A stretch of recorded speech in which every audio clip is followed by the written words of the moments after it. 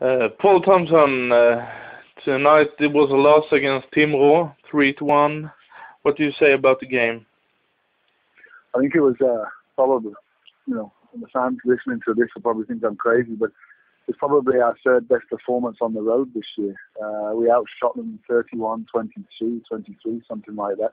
But more importantly, we outchanced them. We had kind of three breakaways three or four quality chances that you know we, we should have scored four or five goals tonight. I mean, if we had our shooting shooting boots on today, it would have been a, a, a totally different uh, result. But if you don't, you know, if you don't take your chances, you uh, you, you don't win hockey games. And, uh, I thought we played a, a very good game, and I don't think a single player let us down tonight. I think everyone played a very very solid game, but we didn't take the chances when we had them. Uh, what do you bring to the to the game on Tuesday against Karlskoga from this game? Same thing. I want more of the same. I mean, you know, I've just been asked uh, by the newspaper, and they said you must be worried with your away form. And I said, well, you know what? We could have won tonight, but been outshot 50 and hung on for an overtime win. And I think I'd have been more worried. I think I like the way the team's going. I know the result hasn't gone the right way. I'm not making excuses. I don't make excuses you know, we, we lost the game and we're sour about that and we're annoyed about that. But we, uh, I think we played a great game and I, I can't believe we're not coming away with some points or the win tonight. I mean, but, you know, they took their chances. Cockman played a good game for us. He played a good first 10 minutes for us. And but we, we were solid defensively. Again, you know, the power play had chances to get pucks through and through the net. And, you know, we're trying to pass off the side and, this has been a problem with us all year. You know, we try and make the, the, the uh, the Hollywood plays that just get pucked through. So you know the power play didn't again didn't really give us an opportunity to win. And but five on five, I thought second and third period we carved out chance after chance. I mean, good scoring chances. But we and we we managed the puck. We kept the puck really well tonight. And like I say, I, it's a tough one to take when you play as well as you have.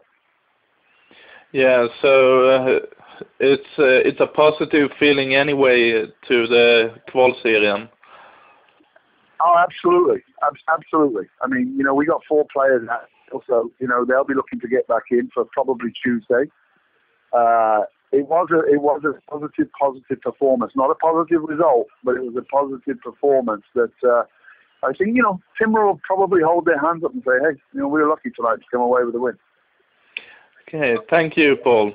Good luck. All right, Terry. Viktor Kokman, det blev förlust eh, borta mot Timrå idag. Hur ser du på matchen? Uh, nej, de kom ut uh, hårt i första perioden tycker jag.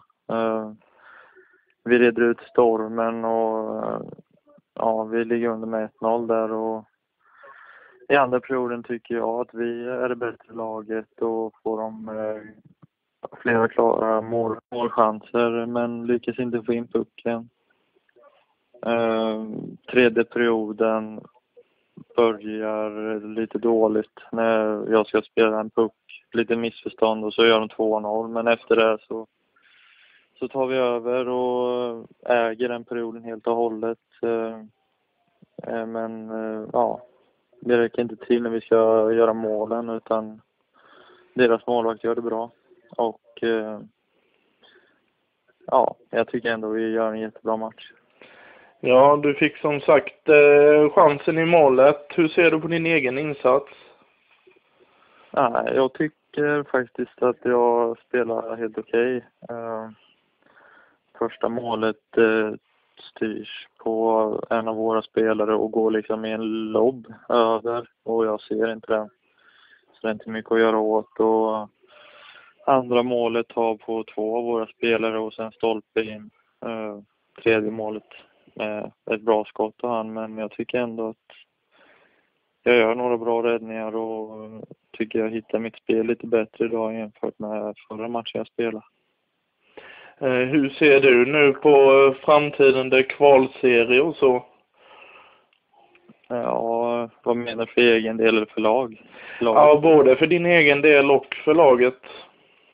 Jag kan börja med min, egen, för min egen del då. Det, mm. Med den här matchen i benen så känner jag mig ändå mer förberedd om det skulle hända något och jag har redan fått eh, förklarat för mig liksom att eh, Bengtsberg står eh, om han är hel och om det går bra. Så det gäller bara för min egen del att vara beredd om det skulle hända något och eh, träna på tills dess då.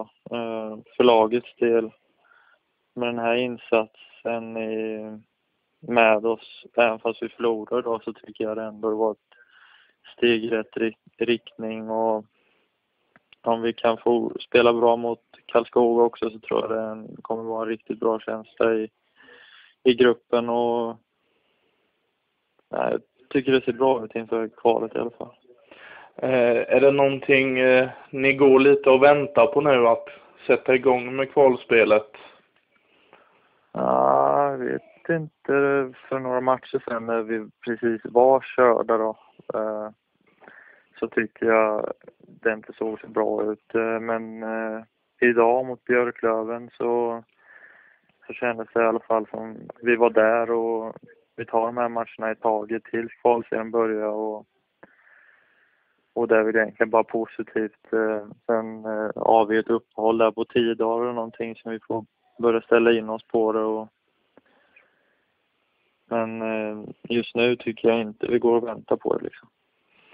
Då tackar vi så mycket Viktor och hoppas ni får en eh, bra resa hem. Tack så mycket.